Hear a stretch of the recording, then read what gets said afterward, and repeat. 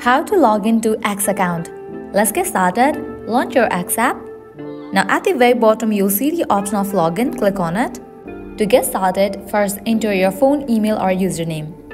In the case you have forgotten your password, you can click on this option to recover it. Once you fill this, click on next.